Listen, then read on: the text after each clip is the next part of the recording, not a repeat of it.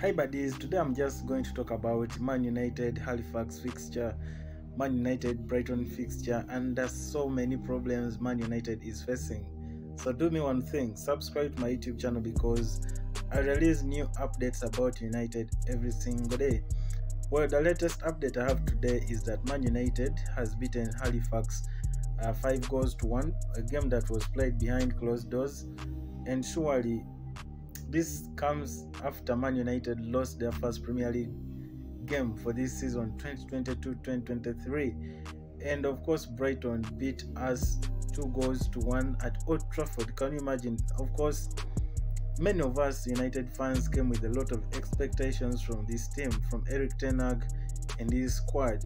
But it seems the squad is not playing for Erik ten Hag because the results of course say it all the body language says it all and also the players most of the midfielders issues you get? We can't i mean survive on a midfield of scott mctominay and surely fred in, in you know it's really crazy.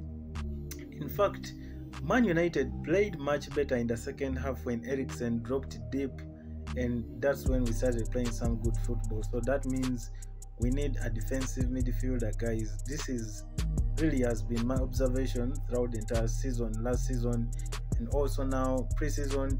We watched it all. Of course the first games as we all watched them since uh, Erik ten Hag was bringing the youngsters of Savage or Charlie Savage and of course Zidane Iqbal. They are playing really nice football. And also I believe if Erik ten Hag gives these youngsters a chance to come and feature in the first 11 they can produce good good performances against even big teams but a midfield of Fred and Scott McTominay they need to really step up their game because this is a long season and we really need to go back to the Champions League.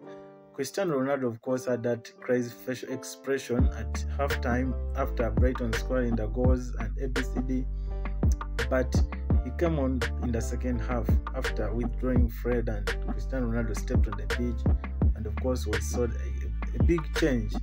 Okay, we saw a big change in the second half, and of course, he also played today in a game that was played behind closed doors against Halifax.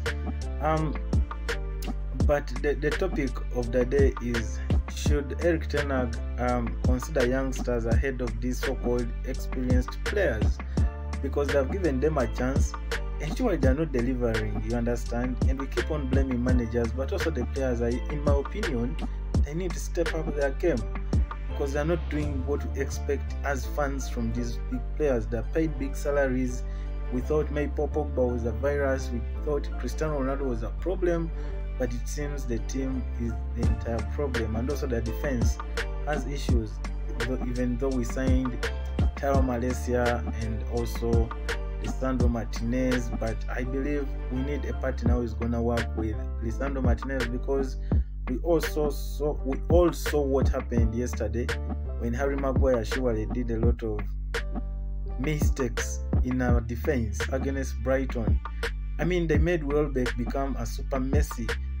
Welbeck looked like Messi, honestly speaking, because he was playing like a superstar. I mean, I'm not undermining Welbeck, of course, he's a world class player, but then the level he was playing at yesterday for somebody like Luis Suarez or Lionel Messi or some other player.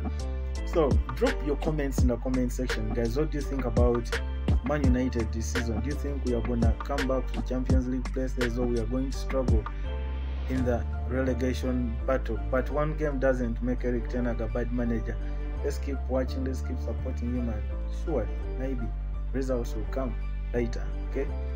Um, final about this game that uh, Man United beat Halifax. According to my news sources, they confirmed to me that Cristiano Ronaldo and James Garner or Garner were on the score sheet, and also um, the reports suggest that uh, Man United is on the verge of signing Adrien Rabiot from Juventus. So that's all I have for you guys today. I, I, I decided to record this lengthy video. I mean, I've never done a video of four minutes on my channel regarding sports.